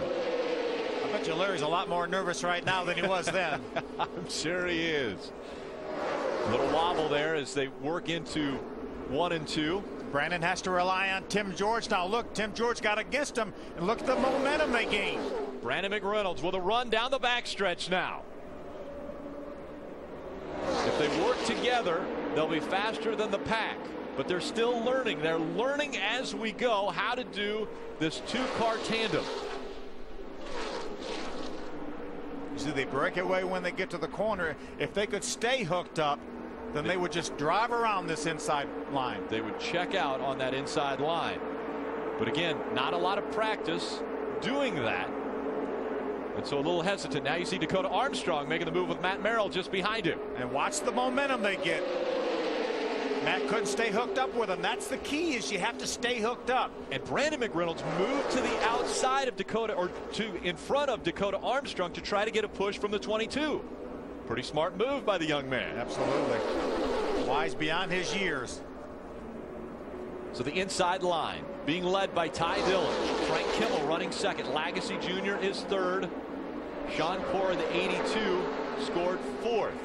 The battle is for fifth On the inside, that's Grant Enfinger in the 36. The outside is the four of Brandon McReynolds. Right. Well, talking about uh, spotters up on the top, Lorin Ranier calling the shots for Brandon McReynolds today, talking him through this little bit of bump drafting, and Brandon just came on the radio and said, tell him to push me all the way around the track. I can hold the wheel. Let him come. We want to go to the front. Bob? Well, Ray, here is the problem when you push somebody, and it's something that Scott Lagasse Jr. learned in that last green flag run. He pushed the 44 to the front, but the problem was that car started to overheat just a little bit. Scott said, I need some air to cool this thing off, and that's why right now they're lagging back just a little bit. They're trying to bide their time and push at the right time and the push was made by Dakota Armstrong. We saw Brandon McReynolds fly by Ty Dillon to take the lead, and his dad was pretty happy about it. That's amazing, though, that all it takes is about a half a lap. Now we see Dakota Armstrong jump to the outside of Brandon McReynolds with help from Ty Dillon. And McReynolds is going to get hung out now as we see Ty Dillon go to the outside. Kimmel checks back to the inside. Lagasse stays with Kimmel. In front of this field, it's Dakota Armstrong, but just for a moment. Now Kimmel goes to the outside. He'll battle for the lead. Hey, this is Talladega now. now it's looking like Talladega. Lagasse to second. In front, it's Dakota Armstrong. Kimmel on that outside line. Will they make the outside line work now? How about Bobby Gerhart? He makes it three wide. Going to try to pull up beside of Milka Duno. Look at the run Kimmel has. Got a push from Ty Dillon. Now Kimmel battling for the lead on the outside of Dakota Armstrong. Here comes Ty Dillon to get on the back bumper that 44 and the outside line's moving now. Watch when Ty Dillon gets up against that bumper. Look at the momentum they gain. And away goes Kimmel. Two car length lead over second place Dakota Armstrong. Now he'll check back up. Will he get in front of the 22 or the 41? That's the question. I think he wanted to be in front of both of them. He's got a long ways to go. 23 laps remaining in this one. Oh, oh trouble. Round Hal Martin. Hal Martin and into the wall. Martin hard into the inside wall. Caution comes out once again. Well, you knew that angle that Hal came off the racetrack that he was going to make contact with that inside wall. Great to see him moving around in the car, though. Twice Hal Martin has gone for a ride. This time it will end his 2011 Talladega Superspeedway experience. And unfortunate for Hal Martin, but again, good news for the guys that pitted on lap number 17. Ty Dillon, Tim George Jr., and Brandon McReynolds. More caution laps. Safety crews get to Hal Martin. He was running 10th when he got sideways and into the inside wall. Bob? And apparently, according to Hal Martin and his spotter, Mike Herman Jr., they said they got tagged by the 17. Now, the 17 and the 55 were trying to hook up and draft just moments ago, but their cars really weren't working well together. And then the 17 just ran into the back of the 55 guys. That happened the first time. Absolutely. Joey Coulter yep. was in front of him. The 17 was behind him. Let's take another look. There we are right there. You see the 17 of Chris Buescher gets against his back bumper. And probably Hal Martin was hitting the brakes because he was against the front bumper or the back bumper of the car in front of him. We get another view right here. Well, that's all it takes. And look at that angle now. He's headed towards the inside wall. Had the had the brakes locked up, that thing wouldn't turn. Oh, but thank goodness, barriers. thank goodness for the oh, safer barriers. It is great to see the give that that wall has, but still the damage done to that race car. The water out of the radiator. There's another look. He just got against got against him, and it pushed him headed towards the outside wall. Then I think Hal probably corrected and then it, and then he was still against him and just shoved him to the inside. Right along with Hal Martin. This one's going to sound difficult.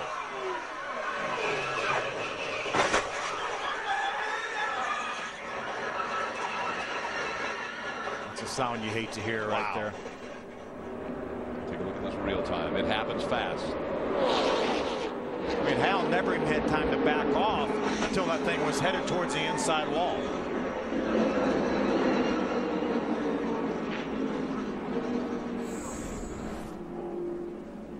It was the 17 of Chris Buescher that was right behind him. You can see the wear on the front of that race car, and it's just where it starts to angle back, which almost gives a lifting motion to the car in front of him. Could very well, because these cars aren't like the the Sprint Cup cars. These cars aren't exactly alike, uh, you know, in the in the front ends. They'll put that car up on the rollback and take a look at the impact this wall takes. Flexes as the 55 slams into it on the backstretch. Hal Martin out of that race car. We're under caution once again. Kimmel out front. Coverage of the ARCA Racing Series on Speed is brought to you by Messina Wildlife Management. Stop animal damage with Messina Wildlife Management. And by Aaron's. You don't need credit. All you need is Aaron's. It's a beautiful day here in Talladega for the ARCA Racing Series 250. Quite a difference from when we tried to start this race yesterday at 4 o'clock when the thunderstorms came through. Now let's head to pit road and Ray Dunlap. Well, we talked about it being a learning experience here at Talladega. The last thing that uh, Ty said on the radio was, woohoo, this is fun. Yeah, he's finally getting to race a little bit. Uh, we led there for a long time, and now he gets to race a little bit. But uh, he's doing a heck of a good job. We kind of uh, made a pit strategy at the beginning of the race, and we're going to stick to it. So you're all good on fuel now? We're all good. We're just we're making gas now. All right, Bob. They're talking about trying to hook up and get right back up there and win this thing. I'll tell you what, Frank Kimmel is having a lot of fun inside that 44 machine as well, and uh, the way he snaked his way up there through the lead, it looked like a different type of driver than Frank Kimmel, Bill. Well, it's the same type of driver. We just haven't seen that type of driver for probably four or five years, to be honest with you. Uh, pretty exciting for the team too, because. Uh, you know, they work hard, and, and, it's it's neat to see the, the car actually competitive for a while.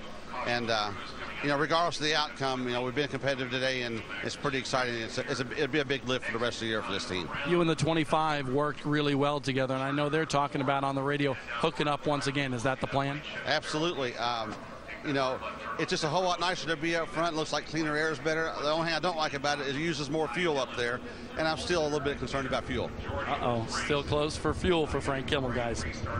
Well, he's got that 41 behind him, and I'm guessing that Ty Dillon would like to make some friends right now because he's led a lot of laps here, and I'm sure that if the field would get the chance, they may hang him out.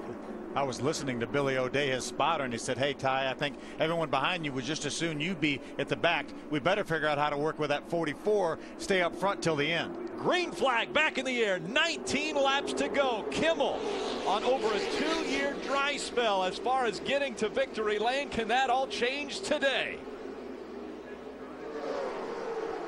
See Bobby Gerhart lurking back there. Bobby's just outside the top 10 right now. And anyone that works together with one other car has the opportunity to make its way to the front. It's just who will try to do the two car tandem. Very close up front. Ty Dillon all over the back bumper of that 44 of Kimmel. Now Dakota Armstrong all over the back bumper. Of the 41 three car push taking place as they go through three and four. Remember that 22 of Dakota Armstrong won this race last year in a wild finish. Now they spread back out through the tri-oval. See Tim George peeks to the outside back there running about the eighth position.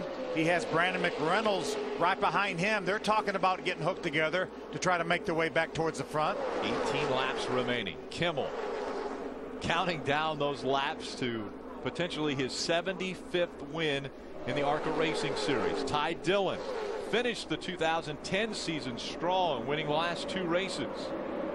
Look at Tim George, Brandon McReynolds on the outside. Brandon's going to try to get to that bumper. You know, it's amazing. These guys pitted not number 17. I never dreamed there'd be enough caution laps for them to get to the end. And we heard Scott Nassett just tell Ray, we're good to go. We're making fuel. Making fuel. Well, I guess if you want to be green, you might as well make fuel here the racetrack. Tim George Jr. still on the outside. Brandon McReynolds behind him. They Sean have to Cole get hooked up. inside. They have to get hooked together. Running in a draft on the outside is not going to do it. They have to be touching. And so the drafting 101 continues for these young drivers. But it's the veteran that's out front. Frank Kimmel in front of young Ty Dillon. Continuing to lead laps at Talladega Superspeedway. The second pack now has joined this first pack. Brandon jumps back to the inside. Tim George Jr. on the outside. Will he get hung out? I think Brandon tried it for a couple laps. They weren't gaining any ground, so he decided to jump back to the inside. Coming into this race, Frank Kimmel leads the all-time ARCA Speedway or Super Speedway lap leaders. Coming in, he led 200 or 2,645 laps in 80 races, and he's adding to that number today. Chris Buescher on the inside. You saw Tim George on the outside. There's Brandon McReynolds. They've reversed it. They have Brandon out front now. Tim George behind. We'll see if Tim George will tuck onto the back bumper. See Chad McCumbee right behind Tim George. We know Chad can do it and has done it in this race. See the shadows. You can see there's a big gap between those two cars. Now Chris Buescher moves up. Not wanting to get left out. It's all about timing. When you come to Talladega, you've got to move in front of the right car at the right time or get hooked up at the right time to make your passes. This is the Talladega we've known and loved for over 40 years now. Grant Enfinger jumps to the outside to get in front of Chris Buescher. Now they're three wide. Now Brandon McReynolds to the inside. Will he try to get behind that 17 of Buescher? He's in front of him now. It's Grant Enfinger that he'll try to tuck in behind. Meanwhile, the guys up front staying in line. And at the bottom of the racetrack. No one looking out in the top five cars. Dakota Armstrong now moves to the outside of Ty Dillon. Ty Dillon holding on to that second spot. Dakota Armstrong trying to get help from Matt Merrill in the 32. Did not have enough help to make it work. Grant Enfinger in the 36 in front of the four of Brandon McReynolds on the outside line. But again, they're not bumper to bumper. So it's not rocketing them to the front as we've seen two car tandems do. Brandon McReynolds peeked to the outside for a moment of Grant Enfinger looking to maybe make it three wide. Now Grant Enfinger jumps to the outside of Matt Merrill. 14 laps remaining. Kimmel and Ty Dillon. Two cars out in front. Three wide behind them. Dakota Armstrong. Stuck Down in the middle. country, right in the middle. Here comes Grant Enfinger on the outside. A lonely spot for Dakota Armstrong as Dakota will fall back. Grant Enfinger with the run on the outside. He's got Brandon McReynolds working behind him. He will battle for the lead as they go through three and four. If Brandon could get, get just a little bit closer, but sometimes you're you're flat on the floor and you can't get any closer. And it moves back. Kimmel, Dillon on the inside. Enfinger moves to the outside, trying to take second away from Dillon as the stripe. It's Enfinger in second, Dillon in third. McReynolds fourth, Lagasse is fifth. Ray Dunlap. The way the plan is set up here, Rick, is for the four to get behind the 41 once they get an opening. Watch him abandon that number 36 out there and dive to the bottom and get with the 41. They believe that's their best chance for the four to push the 41 past that 44. How about that push right there? Brandon McReynolds makes the move, gets right up behind the 36 of Enfinger, and they go to the front. Enfinger leading at Talladega. It took about five seconds of being hooked up for those guys to drive to the front. They shot past the 44 and around goes the 31 of Tim George Jr. Right across the nose of Frank Kimmel. Back up the racetrack goes Tim George Jr. and the caution comes out. It looked like Tim tried to get in line. He didn't have quite enough room. Frank was there. And it's a one car incident. How about that for Tim George Jr.? Right in the middle of that lead pack, and it's a one car incident. Slides back up the racetrack, but no one near enough. And so everyone avoids Tim George Jr. Keeps it going. He'll See how much to come to damage. Frank Kimmel has from that incident. You, quite a bit of damage to the Right right, front. front. corner of that Menards Ford. Now, the good thing for Kimmel, he has to realize that if they come to pit road and they've got someone they can draft with, potentially the 31 who has to come to pit road, they can work their way back up to the front if they have that two car tandem. Take another look at what just happened. See, Tim George is on the outside. He's going to try to get down in front of the 44 behind the four. He just didn't quite have him cleared. He wasn't there. Frank held his ground. I don't think Frank I don't think he had time to even slam on the brakes and let him in if he'd have wanted to. And if he would have, the accordion effect, he probably would have got run into the back of and got spun around, and then we would have had a big one. So probably the right thing for Frank Kimmel to do. Here's another view of it. Now watch. The 31's going to try to come down to the inside behind the four. You see Frank's right front corner is up almost to the back of the rear tire.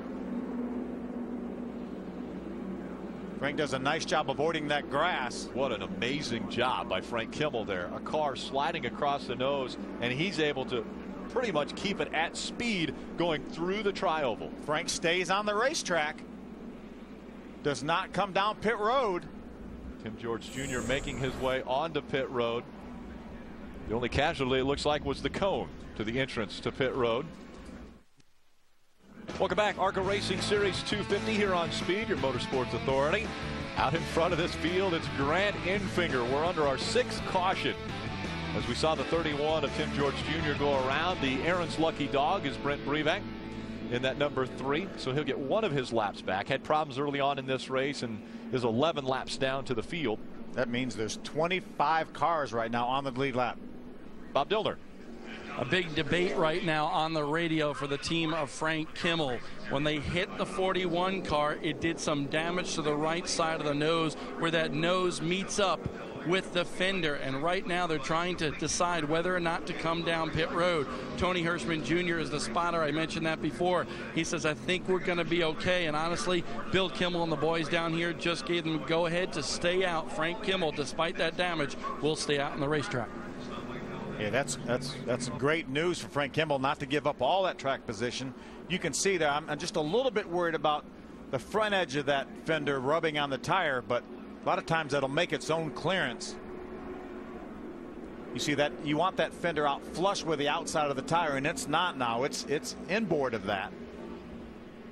You would hate to see a right front tire cut down, especially at Talladega where we've seen speeds of 185 plus miles an hour here today. And aerodynamics are so critical. You you want that fender as tight as you can get it. So that's why any any kind of nudge from anything like that gets a little bit too close. You can see Milka Duno. They're doing a little bit of work on her front, the front of her car. You can see the hood bloused up a little bit. So made a little contact out on the racetrack. Milka Duno will go back out. In front, though, it's Grant Enfinger. Brandon McReynolds running second. Now, we talk about dance partners. Who is going to work with who as we're under 10 laps of racing to go? And then maybe who's going to work with who on the last lap. Exactly. I mean, you don't want to make your move too early here because I'm, you know, that that same thing that you do is available to everybody else. Larry McReynolds probably more nervous than he was back here in 1992 when Davey Allison went to victory oh. lane, and we're seeing problems out of the four. He's wiggling. Could he be out of fuel? I guess he must be out of fuel. He's trying to wiggle it. Remember, last pitted on lap number 17. Ray just came on the radio, said the engine stopped, not running. Going to try to come to pits. The guys are up on the wall. They've got a fuel can. That was, that's got to be making the 41 and some other guys think a bit. He was running second. And fuel, the big question now can he get around? He's stopping in turn three, just on the apron in turn number three. Remember, the fuel pickups are in the right rear corner of these cars. If Brandon had been run around on this 33 degree banking, that fuel will run away from that pickup. The thing actually could have fuel in it, but it ran away from the pickup and it can't pick it back up. And he's Eh, I'm sure his father will be telling him he needs to be running on the flat surface because as you mentioned that pickup that pickup is on the right side. He probably should have been down on the flat surface but he's going to get a little assistance going around they're not going back to green yet obviously with the safety vehicle out there behind the four. What a terrific job Brandon has done this entire race. Ran up front pushed people to the front, got pushed to the front. Mm -hmm. He's going to get pushed around, but he will end up losing a lap. I believe it depends on if the safety vehicle will get him around and they'll top it off with fuel before the field gets back around. Let's take a look back, Rick, at, at what we were talking about. Brandon running up on the racetrack along with everybody else. You see that fuel pickup is way over in the right rear corner of that fuel cell because it's centrifugal force. But here at, at 70 miles an hour, that fuel's running away from that pickup. And I think that's what happened. That more than likely that car still has enough fuel in it, maybe even to get to the end. But the problem was he was on the bank and it ran out away from the pickup. And now he is on pit road. We're hearing that Hal Martin has been checked and released from the infield care center. I think that's something that Ty Dillon needs to be aware of. Obviously, he pitted the same time that the four did. Right. Guys, they have uh, put fuel in here. They're making a chassis adjustment, and they're spraying some ether in the front to try to get this thing. Brandon is turning it over. So far, no fire. They got fuel in now. It is fired up, so, well, stalled it back out. We'll see. You know, he's got it running, so the four is back running, Bob. You know, Ray, for so many years we talked about the Alabama gang, the Allisons, Neil Bonnett, Red Farmer, and the like here in Alabama, making a name for this state in the big leagues of racing. Well, today, your leader of this race, leader of this race, Grant Enfinger, just 26 years old, looking for a big victory here. He's won a lot of big super late model races like the Rattler there in South Alabama Speedway. This would be a dream come true.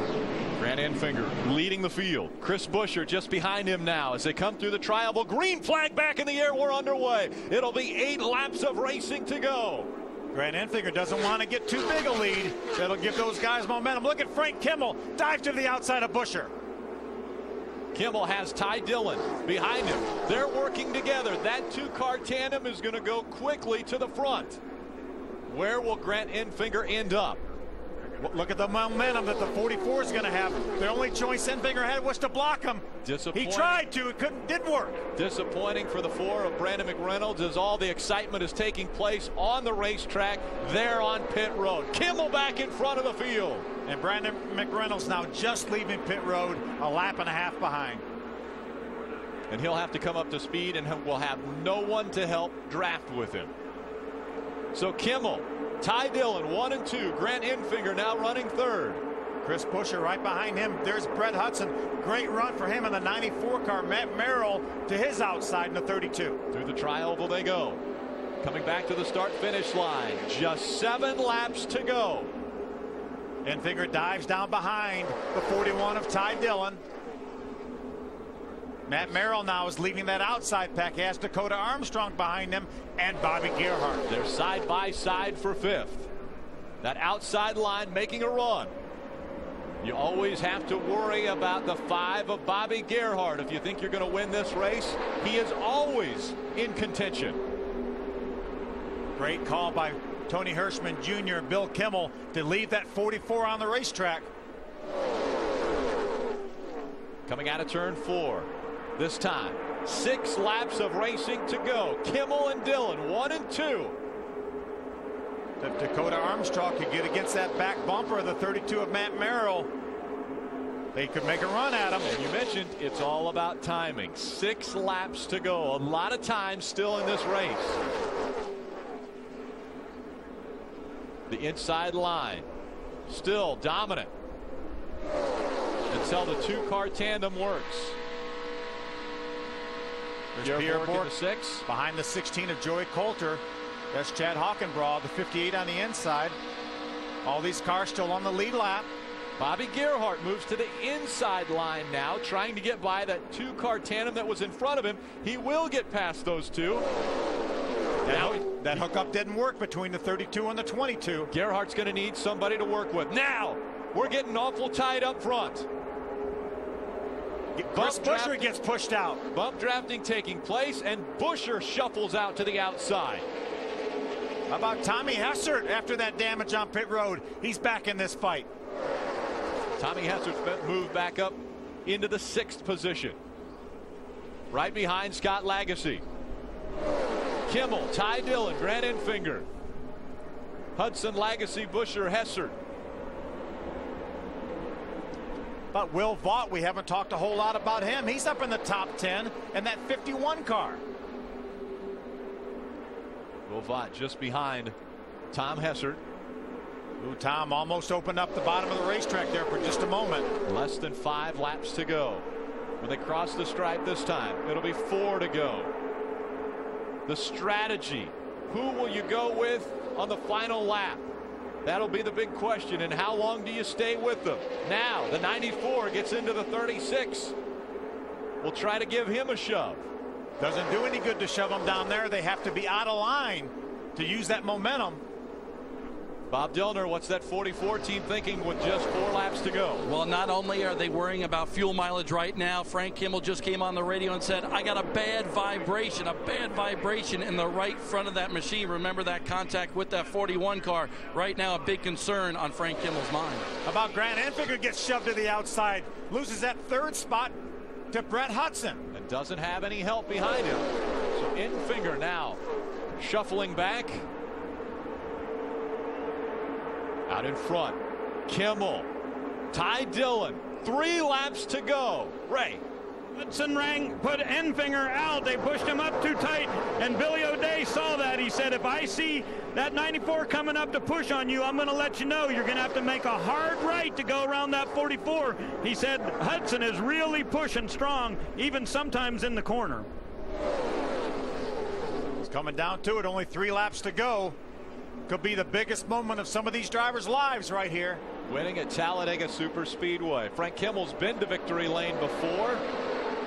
Ty Dillon, Brett Hudson, Scott Lagasse Jr., Tom Hessert, Will Vaught. Bobby Gerhart back in seventh. He's also been to victory lane. He's on the outside. He's trying to make that second line move. When they come to the stripe, it'll be two laps of racing to go. Can Kimmel hang on? When will Ty Dillon make his move? Lagasse jumps to the outside in front of Gerhart. Gerhart, does he want to tuck in behind the 25? No, he moves to the outside. He'll hang out Scott Lagasse Jr. Now, here comes Bobby Gerhart, challenging for the lead on the outside. He had a push from Matt Merrill in the 32. Gerhart now with a big gap behind him has no help. He's hung out on the outside. When will that second line catch up to him? And will they get behind him or will he be hung out? He's trying to figure out who's going to emerge, the 17 or the 32. He wants the one with momentum. Still in front. Frank Kimmel behind him. Ty Dillon, the veteran. Bobby Gerhart on the outside. Lagasse hung out to dry in the middle. Coming down for one lap to go. Coming down for the white. Through the trioval. Side by side for the lead.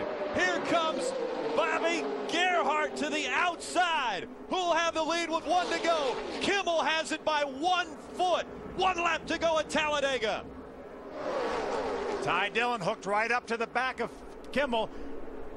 The ease away from the five of Gerhart for now. Gaps between the top three. Kimmel less than half a lap to go to get back to victory lane in the ARCA Racing Series. Ty Dillon closing in now. Bobby Gerhart still on the outside, trying to get a draft, trying to make it nine wins for his career. Ty Dillon looks to the outside. He's got to do something. It opens up the bottom for Hudson. Here they come out of turn number four. Kimmel the closest to the start finish line. Dillon makes his move to the outside as they close in on the trioval. Does he have enough time? Here comes Kimmel through the trioval. Here comes Dillon at the stripe. It's Ty Dillon winning this one. How about that? He used the five car of Bobby Gerhart for momentum. Ty Dillon times it out perfectly and just noses Frank Kimmel at the line.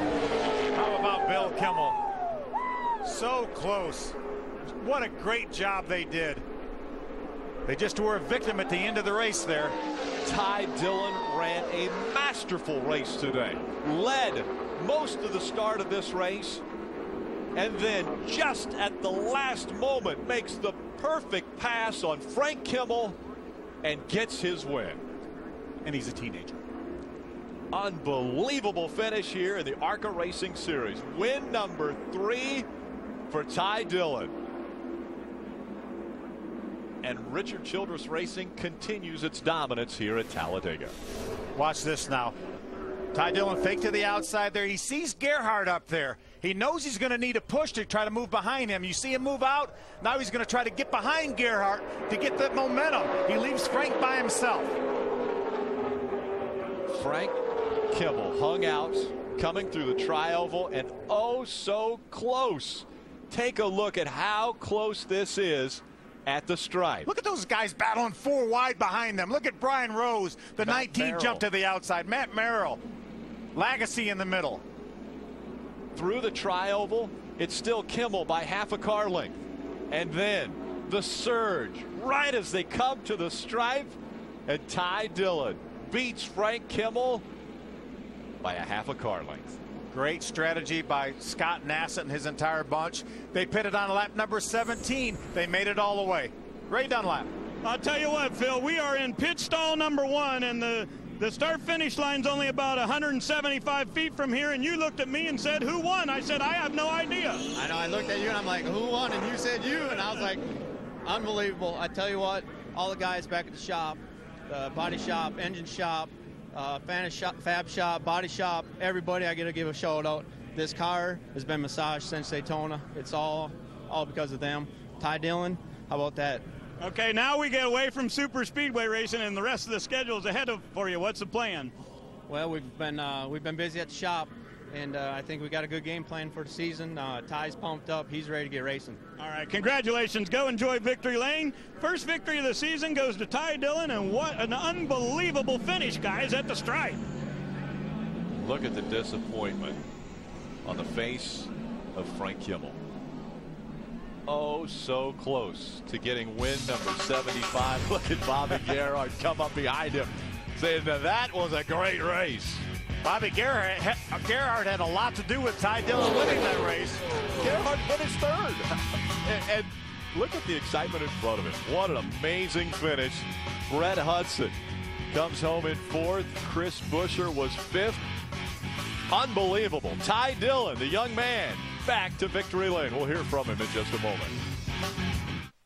Welcome back. Take a look at this finish. After 93 laps, the 94th decided by half a car length. Ty Dillon makes the last second move to the outside of Kimmel and grabs his third win. Your cars all over the racetrack. Look at Brian Rose up against the wall there, four wide. He ends up with a seventh place finish. And Tom Hessert all the way down at the bottom of the racetrack. He's 60 feet away from him. and Hessert with a sixth place finish. Look at how close that was. You don't think that was a happy young man there, do you?